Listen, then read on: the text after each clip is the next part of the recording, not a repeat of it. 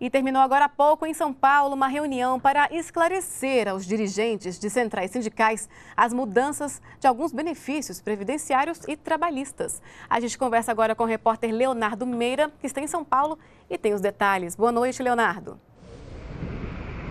Boa noite, Aline. Essa reunião tem a presença de quatro ministros: do Trabalho e Emprego, Manuel Dias, da Previdência Social, Carlos Gabas, do Planejamento, Nelson Barbosa e também da Secretaria-Geral da Presidência da República, Miguel Rosseto. O encontro começou às 5 horas da tarde. A ideia é explicar aos dirigentes das seis centrais sindicais algumas mudanças que aconteceram em benefícios previdenciários e trabalhistas. Essas medidas foram adotadas por meio de duas medidas provisórias publicadas no dia 30 30 de dezembro do ano passado. As alterações são sobre cinco benefícios. No abono salarial, muda a exigência de tempo mínimo trabalhado com carteira assinada para ter acesso ao benefício, de 30 para 6 meses. Além disso, o abono vai ser pago proporcionalmente aos meses trabalhados. As alterações começam a valer no início de março. No primeiro pedido de seguro-desemprego, vai ser preciso ter trabalhado pelo menos um ano e meio com carteira assinada nos dois anos anteriores à dispensa, e não mais seis meses. Já no segundo pedido, o prazo exigido passa a ser de um ano nos últimos 16 meses anteriores à dispensa.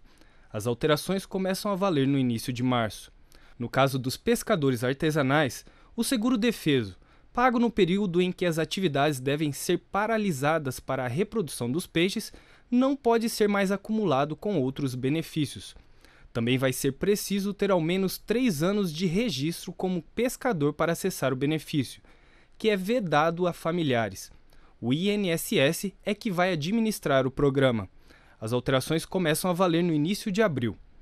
Já na pensão por morte, o contribuinte precisa ter colaborado ao menos dois anos com a Previdência, e o valor da pensão, antes integral, passa a ser de 50% do que era recolhido à Previdência Social, mais 10% por cada filho do casal. Agora é preciso no mínimo dois anos de casamento ou união estável para requerer o benefício.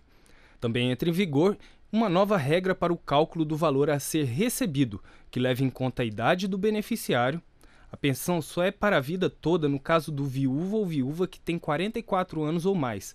Até 43 anos, o benefício vai ser pago por períodos definidos, que variam de 3 a 15 anos.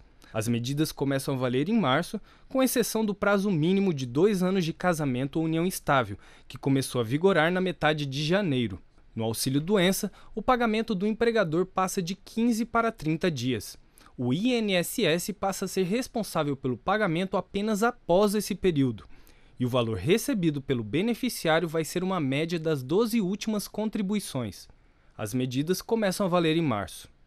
Aline, vale lembrar que essa reunião entre os ministros e os dirigentes das seis centrais sindicais acontece no escritório regional da Presidência da República, que fica aqui na Avenida Paulista, na capital do estado de São Paulo. Com essas novas regras, o governo pretende economizar 18 bilhões de reais por ano, o que equivale a 0,3% do produto interno bruto, PIB, que é o conjunto de bens e riquezas produzidos pelo país, previsto para 2015. Além disso, o objetivo também é tornar a concessão dos benefícios mais justa e combater fraudes, mantendo todos os direitos trabalhistas. Aline, voltamos com você aí no estúdio.